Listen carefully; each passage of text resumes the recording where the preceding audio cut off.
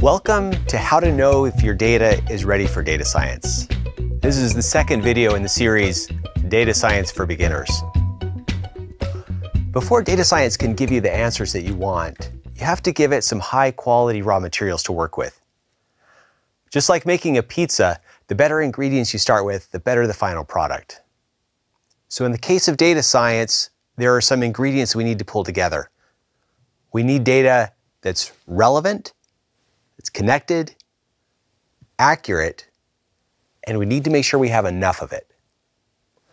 So the first ingredient we need, data that's relevant. So take a look at the table on the left. We met seven people outside of bars in Boston and measured their blood alcohol level, the Red Sox batting average in their last game, and the price of milk in the nearest convenience store. This is all perfectly legitimate data, but its only fault is that it isn't relevant. There's no obvious relationship between these numbers. If I gave you the current price of milk and the Red Sox batting average, there's no way that you could guess my blood alcohol content. Now, check out the table on the right. This time we measured each person's body mass and counted the number of drinks they've had. The numbers in each row are now relevant to each other. If I gave you my body mass and the number of margaritas I've had, you could make a pretty good guess at my blood alcohol content. The next ingredient is connected data. Uh, here's some relevant data on the quality of hamburgers, grill temperature, patty weight, and the rating in a local food magazine. But notice the gaps in the table on the left. Most data sets are missing some values, and it's common to have holes like this and there are ways to work around them. But if there's too much missing, your data starts to look like Swiss cheese. Looking at the table on the left, there's so much missing data, it's hard to come up with any kind of relationship between grill temperature and patty weight. This is an example of disconnected data. The table on the right, though, is full and complete, a great example of connected data. The next ingredient we need is accuracy. So here are four targets we'd like to hit with arrows. Look at the target in the upper right. We get a tight grouping right around the bullseye. That, of course, is accurate. And if you look at the next target on the lower right, oddly, in the language of data science, our performance on that target is also considered accurate.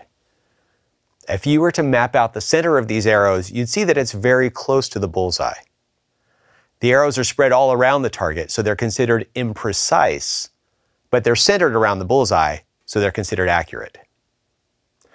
The target in the upper right is both accurate and precise, so that's a good job. Now look at the upper left target. Here, our arrows hit very close together, a tight grouping. They're precise, but they're inaccurate because the center is way off the bullseye. And of course, the arrows in the bottom left target are both inaccurate and imprecise. This archer needs a bit more practice. Finally, ingredient number four. We need to have enough data. If you think of each data point in your table as being a brush stroke in a painting, then if you only have a few of them, the painting can be pretty fuzzy. It's hard to tell what it is. If you add some more brush strokes, then your painting starts to get a little sharper. And you know when you have just barely enough, you can start to see the pattern and make some broad decisions. I look at this and I think, is this somewhere I might want to visit? It looks bright, the water looks clean. I decide, yes, that's where I'm going on vacation. As you add more data, the picture becomes clearer and you can make even more detailed decisions. Now I can look at the three hotels on the left bank.